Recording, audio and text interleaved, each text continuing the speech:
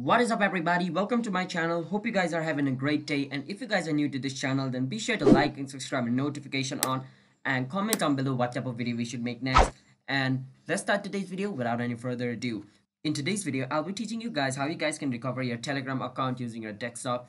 So for this, let me tell you guys, if you lost your phone, then you can, you know, log out from your telegram account which is logged into your phone using your pc but remember that for this you need to log into your telegram account before you lost your phone. Like if you lost your phone and now you're trying to log into your telegram account in your desktop then it doesn't work because if you try to log into telegram desktop then it's going to send a verification code to your telegram which is in your phone.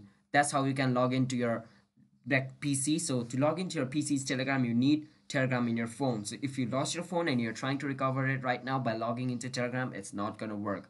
So i've already logged into my phone over here and i've already opened my telegram. So let's assume i have telegram on my pc i have already logged in and right now i lost my phone. So i have already logged into my telegram account on my pc before i lost my phone. So this is useful because if i try to log into my telegram account using another phone it's not going to work if it is already logged into another phone. It's going to send a verification to that phone. So for this i'm going to log out from every session so it will work for me. So what i can do is i can click on this tree line over here click on setting and on setting i can go on privacy and security over here.